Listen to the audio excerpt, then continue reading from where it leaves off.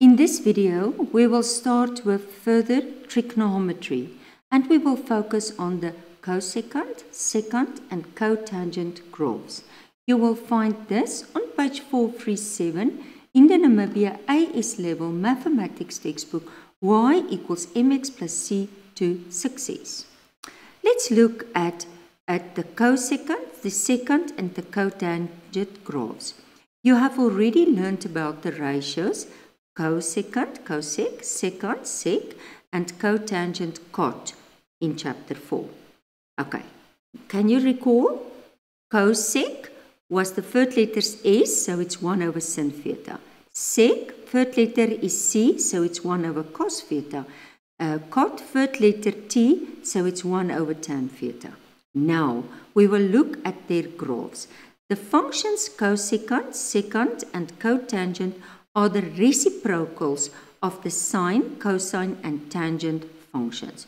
For example, whenever the sine is zero, and just to explain it, I'm just going to use this graph so that the theory makes sense. Okay.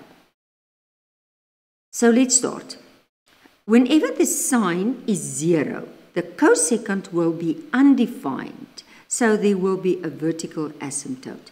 Do you see? There is zero. Can I just show you? There is zero. There is zero. So therefore, this is the cos, the sec. So there, it will be an asymptote. Do you see that? Okay, let's go on.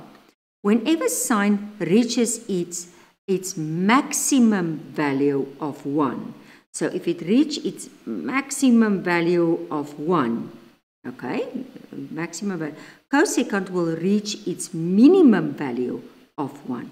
So do you see that there's a minimum because it's, this is the graph. It goes up, so it's a minimum there and it's a minimum when it's at the maximum. Okay, we go on.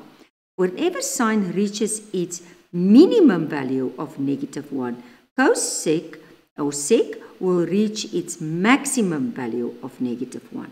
So at negative, there's the minimum. Do you see? And then cosec will reach its maximum. Do you see the graph? And there's the maximum. Okay. Um, of neg. Whenever sine is positive but less than 1, so that means positive but less than 1. Positive but less than 1. Okay. Uh, cosec will, will be positive but greater than 1. So do you see? It's also positive but it's greater. It's going up. This was going down. This is greater. Okay. Whenever sine is negative but greater than negative 1, there it's, there it's negative under the x-axis and greater than negative 1 cos um, or sec uh, will be negative but less than negative 1. So it will be there. Do you see it's negative? It's going down and there is the maximum point actually at negative 1. These same principles can be applied for this secant and the cotangent functions. But let's look at the graph. There I just explained this graph a little bit. Okay, I'm going to make it a bit bigger. Did you see better? Okay, let's start. Sketch the function y equals sec x for the intervals for, uh, from this um, uh, 0 to 360. The functions y equals cos x is 0 when x, okay, you know that basic graph already. You have to know it by now. Okay, so this is the basic graph.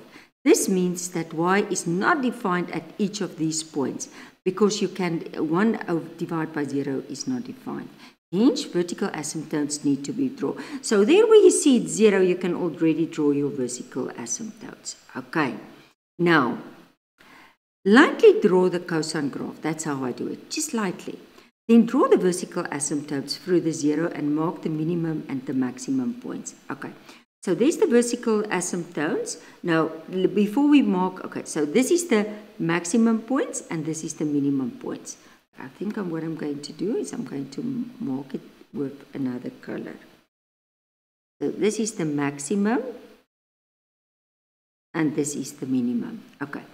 For cos x bigger than 0, that, that means above the x-axis, the sec curve strives upwards from the a maximum point of cos towards the asymptote. So it goes up and it goes up. Okay, so towards the asymptote. That, so that is the two that you can draw now. And then for it's smaller than 0, below the, the x-axis, this, the sec curve stripes downwards from the minimum point. This is the minimum point of the towards the asymptote. So it goes to this side and it goes to this side. Note, um, it's a graph of a use. So, so it's like a U, and, and because it will, don't forget, and you can even go and use your, um, your Symbolab and see the graph. Remember, it will go on. You, you follow. It's not stopping there. Okay, and then there will be an asymptote again and then it will go on. So, so that is why they say it's graph of use, use.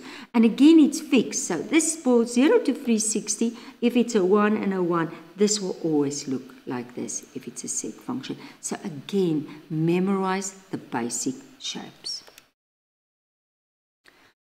Okay, um, I want you to stop the video and I want you to do try now one. Again, you can continue the video as soon as you are finished. Okay. I want you to draw. Now, this is more or less the same. It's now, you can use exactly the same, but now it's the cosec. So you're going to work with the sin graph. Okay. So I'm just going to first, the functions y is 0 when, so let's first start with the, okay, let's just go. Uh, I'm first going to start, uh, likely draw the sine graph now. Again, I'm going to use um, shapes, otherwise I'll go to the next page. Um, I'm going to make it a bit smaller and I have a little bit of space. There it is. And then I'm going to give myself a grid. So please work on one centimeter blocks, otherwise it's not going to be up, up to scale. Remember, it's 0 to 360. So I'm just going to take a color there, doesn't matter what. And I'm just going to indicate, and yeah, I have straight lines. I use a ruler and a ruler. Okay. Now I'm first going to do. Um, I'm going, first going to mark mark it. So remember, this is going to be zero. Okay. So let's make this 90. Then we can make this uh, 180. Then we can make this 270 and then we can make this 360. Okay, that will be your first. Okay. And then at least make it 4. Okay, no, no, I'm going to make it 2 because that graph is always going up. So I think this will be better. 1, and let's just go a little bit better, negative 1. Okay, now remember slightly so that you just have the shape. So how is the sin graph? Can you still remember the sin graph? You can actually mark it. Um, course, I want to just draw it slightly and I want to focus on the other one. Okay, let's, let's make it in, um, in green. Okay, so can you remember the sin? The sin is always going to be there, a maximum, and then it's going to go through there, and it starts there, and then it's going a maximum again there, minimum, sorry. And there. So this is the sun. So if I must draw it, do it with a pencil or just lightly indicate. Okay, and then, oh, let me just go a little bit. Okay. Okay, there is the, this is y is equal to sin. You can just mark it. Okay. Now, we follow exactly the same principles. Okay, so where is the sin graph 0? It's there. So basic, and it's also there. So I can already go and draw, this will be my asymptote.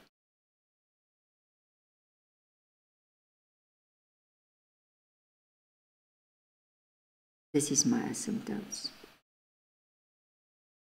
Okay, and now I'm going to start. I'm going to say, so my asymptotes is going to be at 180 and 360. The function is, is 0 when uh, it, it's actually here also. Don't forget, it's also here. Okay, so because it's at 0, 180 and 360. This means that y is not defined at each of these points. Okay, because it's, hence verticals need to be drawn at each of that point. And then okay, I'm going to just take you to the previous page, previous. Draw vertical asymptote. Okay, wait. For x bigger than uh, um, cos, okay, this will now sin x bigger than 0, the curve strives upwards. Okay, so basically, I'm just going to go. Okay, so here, when it's going to do this maximum point, the curve, and what color can I use now? Yellow. The curve, remember this is an asymptote. So it's striving, oh, and I have still a ruler, sorry. It's striving to that. And then it's making its turn there, and it's again striving to that. Okay. And then this one is actually very nice because you don't sit with halves. And then this one is doing exactly. There where it's at the minimum, it's striving to this. And just get that correct. Mm. And it's striving to this. Okay. Maybe a little bit down. And that's how you do. So this one is actually in this, don't forget, what is it? It's y equals cosec. So cosec is actually very nice because it's having two u's, whereby, if you can remember the previous one, it's like having a half, a full one, and another half. Okay, again, just as you memorize this one, you can memorize the sec one for zero, and you can also memorize the cosec one having now the two full U's. And that's how you do it.